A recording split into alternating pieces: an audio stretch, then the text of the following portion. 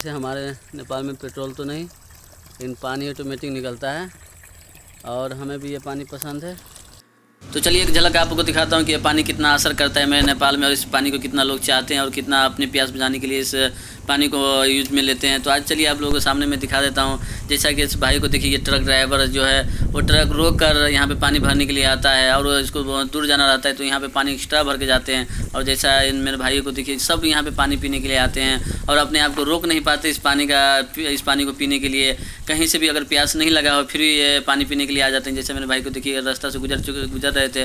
उसके बाद इनको ये बोटिंग पे जो भी नज़र पड़ा तो ये उतर कर गाड़ी रोक कर, अपना काम हम छोड़ कर ये पानी पीने के लिए आ चुके हैं। और ये देखिए कितना संस्कार लोग हैं। जो अपना, जो जो पहले प्यासा है उसको पानी पीने के लिए पहले मौका दिया जाता है यहाँ पे। और ये नेपाल का ये शान है और ये बान है।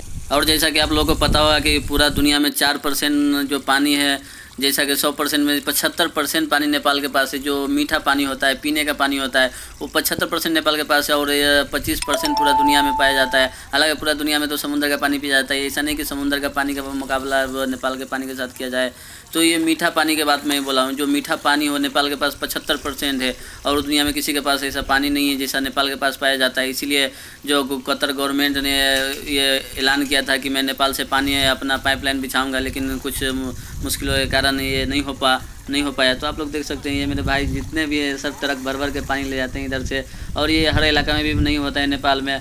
ये कुछ मेरे इलाका में है, वो कुछ हिस्सों में, कुछ गाँव में ये होता है। और ये कल का जितना देखिए बोटिंग में जो बोटिंग है, उसका पानी कितना फ्रेश है और इतना साफ़ है, जो मीठा भी पानी है और इसको कभी भी फ़िल्टर करने का ज़रूरत नहीं पड़ा है और जितने भी मेरे भाई है, ये सब फ़ायदा उठाते हैं और ये देखिए मेरे भाई जो बड़ा गैलन तक उसको भर कर रख दिए हैं और ये छोटा छोटा बॉटल भरने के लिए आए हैं।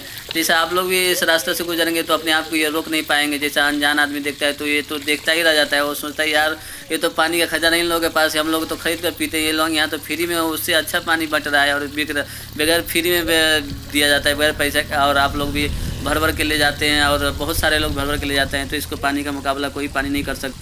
एक झलक दूसरे बोटिंग का भी मैं नज़ारा करवा देता हूँ, जैसा कि इन लोगों को देखिए, जो खेती करने के लिए आए हैं और ये अपना प्यास लग गया तो ये ये पानी पी रहे हैं और ये पानी मीठा है कहीं भी चले जाइए अच्छा ही पानी मिलेगा मेरे इलाका में।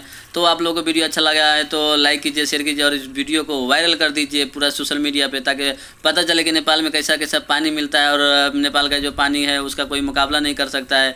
जैसा कि इंडिया में, मुंबई में था तो मैं बारिश का पानी पीता था, सऊदी में हूँ तो समुद्र का पानी पीना पड़ता है। तो आप लोगों को ये वीडियो अच्छा लगे तो लाइक कीजिए शेयर कीजिए और हमारे चैनल हरीसद्दाम को सब्सक्राइब कीजिए ताकि हर आदमी को ये वीडियो देखने के लिए मिले और आप वीडियो को शेयर कीजिए ज़्यादा से ज़्यादा लोगों तक।